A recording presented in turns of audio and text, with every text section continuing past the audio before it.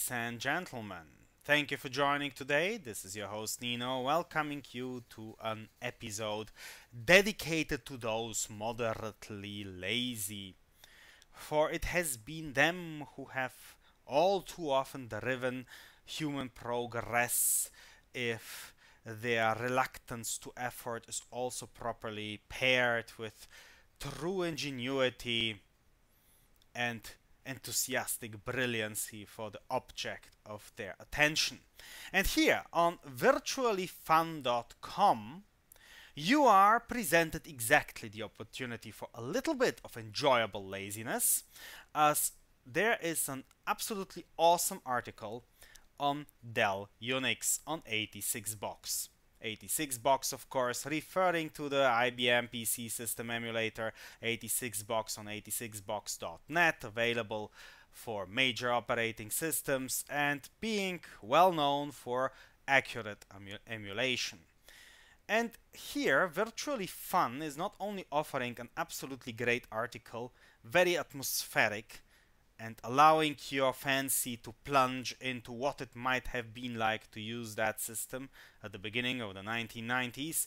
Nay, even more, they are delivering you a complete 86 box image with a pre-installed system on a 500 megabyte drive, a virtual fashion ready to boot in 86 box.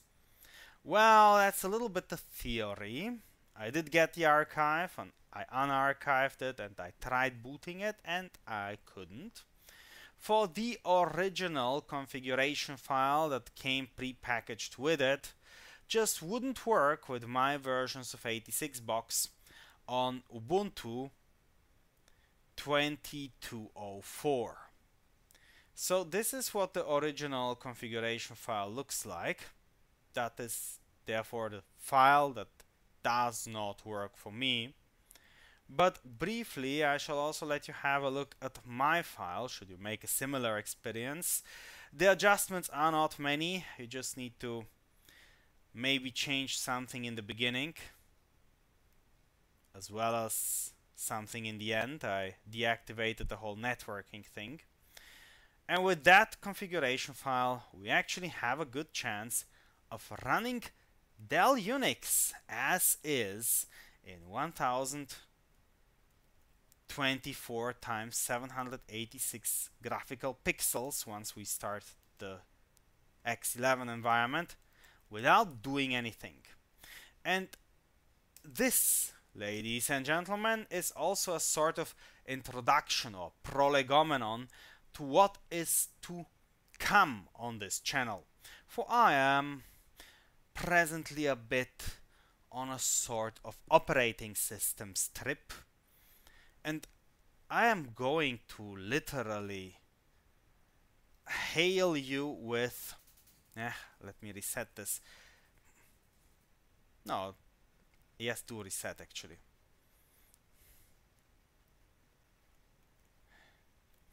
I'm going to hail you with OS experiments seem to not get into the BIOS of this thing this, this is annoying me reset I want into the BIOS. Delete, delete, delete, delete. Yes! Finally. One thing you need to do before you can boot this image, because in the archive itself, the BIOS settings are not included. You need to do that yourself. So when you start it the first time, press delete until you arrive here at the BIOS. And here in standard CMOS setup, it is important that you pay attention the drive C has 1015 cylinders, 16 heads and 63 sectors. That might be preset, might not be though, so pay attention that it is and then you will be able to boot this.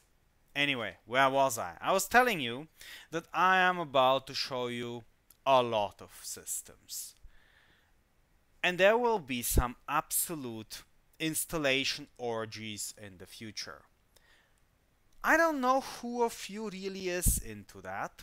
I totally am, and I am doing that also a little bit as mental notes supporting any future installation attempts by myself. And I hope that they will be useful to others who might wish to do a little bit of operating systems archaeology. But here we shall be, well, essentially trying out something pre-installed. It's pre-installed very nicely.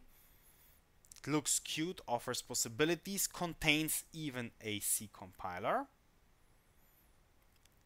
and should offer you just plain and simple immediate usage of the system. You see it booting here and soon yeah the system is coming up. Please wait. We can try it out a little bit. So that does take its time. Indeed the network is unreachable. What is noteworthy is that many varieties of system 5 are quite slow to boot and slow to shut down whereas the operation during use of the system is snappy, as you see here.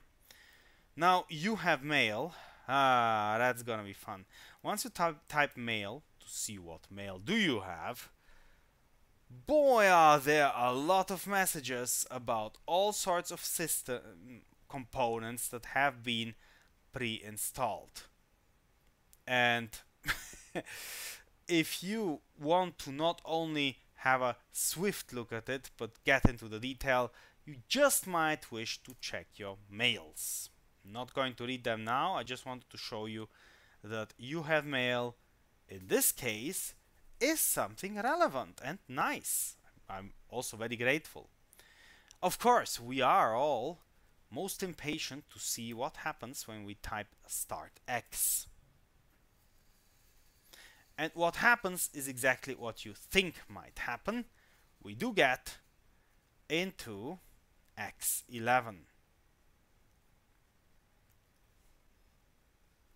So let me just put this a little bit better into view. Most monitors nowadays are having a larger vertical resolution than 700 68 pixels, the 1024 not to talk of.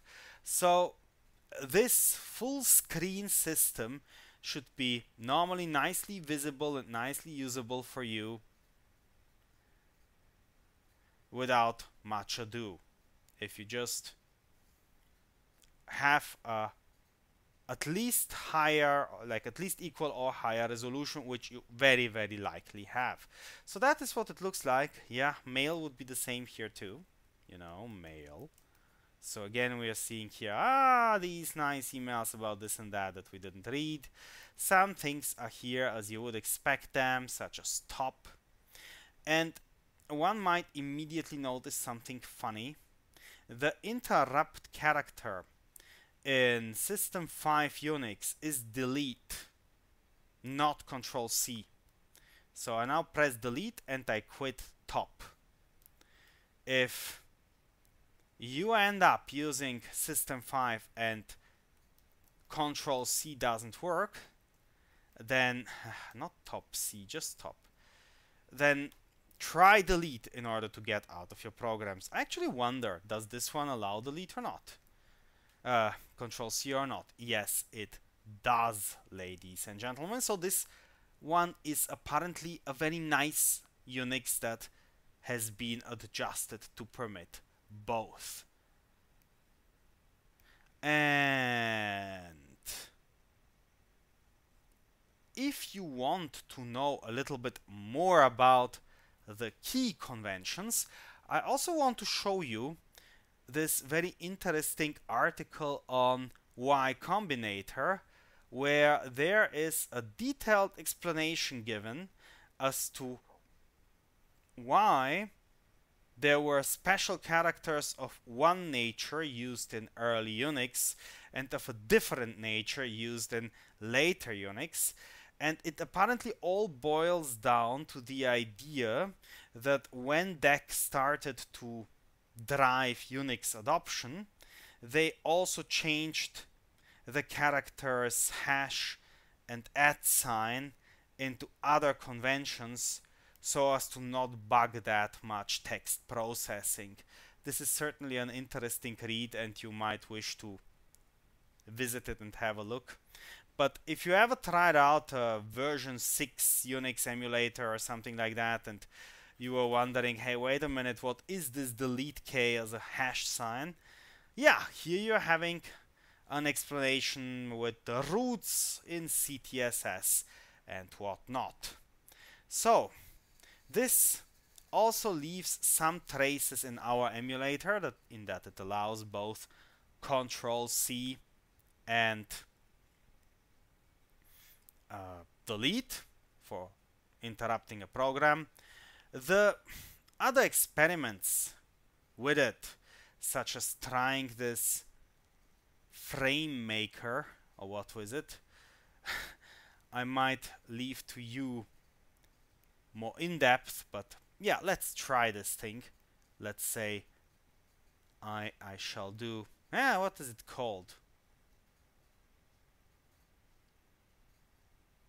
And now now I'm getting a little bit upset. User frame bin demo maker. Okay, let's try that. User bin user frame bin demo maker. And there's nothing. ls huh.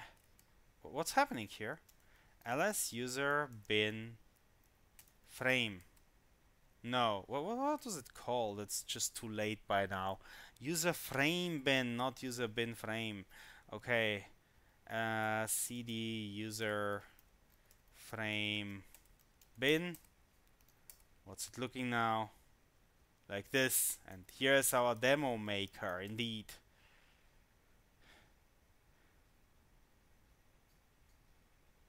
Whoa, we're about to witness FrameMaker, whatever FrameMaker is.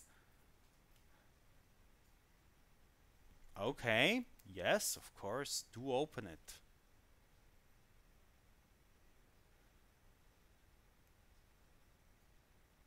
Finished loading. Oh, so so here we see how to make nice documents. You see, ladies and gentlemen, I will never get that far in any other experiment because my interests are different, but I have to admit with full respect and admiration that this seems to be a very nicely equipped Unix system. Okay, now let's get out of here. This is beautiful. I have to say this is beautiful. You know, when I am in X11, the only thing I am commonly using is Xedit, right? it, it is, in fact, a nice text editor, and I can say hello from Xedit to you, but of course, this has nothing to compare. Interesting is also, this is not TWM, one of the more usual window managers. Instead, this is MWM. So Alt space is giving you a menu that I just opened where you can say close, for instance, or Alt Q for quitting, or how is this working? Alt space close. Alt F4. Yeah, okay. And anyway, you can control things that way too. Okay, I'm still curious though.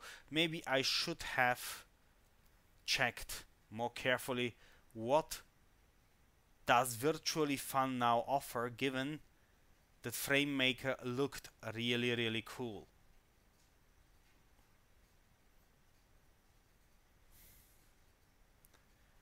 Oh well. I think, ladies and gentlemen, external circumstances are now quite suddenly forcing me to end today's adventure. The only thing I shall finally show you is how to get out of X if your mouse is not working. Like mine would be working now. I could left click and then move the mouse in order to, to quit and whatnot. But the ugly way to get out is to say ps elf and to see what here is your X server. And your X server is this XMACH thing. So you're then saying kill 247. This is the uncivilized way, like one shouldn't be doing things that way. And okay, I completely crashed the system. But trust me, dude, in the real world, this has a tendency of working at least a little bit better. chaos, ladies and gentlemen. Get used to chaos in the future, where I shall greet you again to further adventures, hopefully ending better. Until then, I wish you to have a wonderful time. If you're not a subscriber yet, please consider joining our friendly club. See you hopefully soon. And from me, thank you for watching and goodbye.